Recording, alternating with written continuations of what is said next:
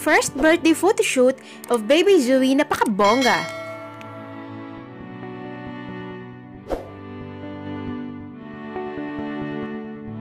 Tignan ang napakabonggang first birthday photoshoot ng anak ni na Sofia Andres at Daniel Miranda na si baby Zoe.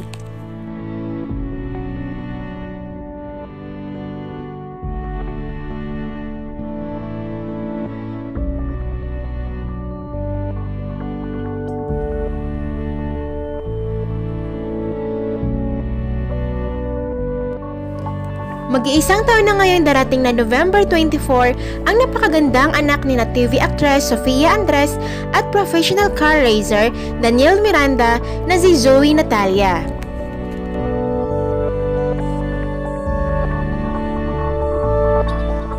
Nitong November 4 nga ay ipinost ni Sofia sa kanyang Instagram ang bonggang pre-birthday photoshoot na ginawa nila para sa unang kaarawan ni baby Zoe.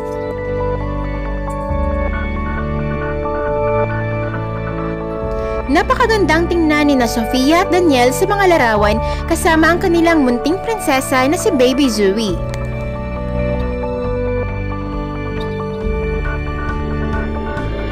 Litaw na litaw ang ganda ng aktres sa suot niyang pink blush gown habang si Daniel naman ay pinili magsuot ng isang leather jacket.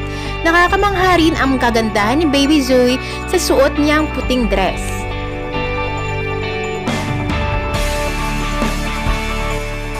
Bukod sa kanilang mga kasuotan, pinagpipiestahan din na ngayon sa social media ang mga larawan na ibinahagi ni Sofia dahil sa mga magaganda at bonggang setup at location ng photoshoot.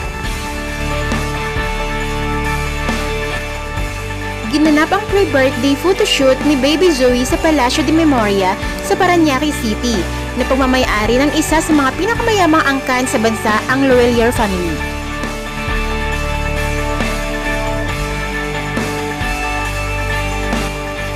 Sa mga hindi nakakaalam, si Daniel ay anak ni Angelique Lolier, isa sa mga anak ng diplomat at chairman ng Cebuana Lolier Pawn Shop na si Philip Lolier. Ang ama naman ni Daniel na si Martin Miranda ay isang professional racer din na katulad niya. Ang grand staircase ng pre-war storied mansion ay pinalibutan ng white at pink balloons at flowers.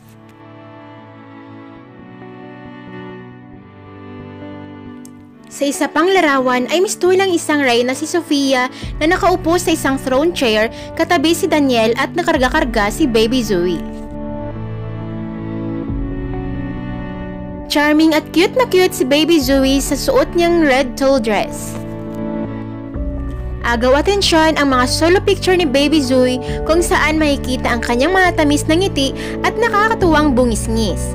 Isa pang lokasyon ng kanilang photoshoot ay sa loob ng isang eroplano na pagmamayari ng lolo ni Daniel.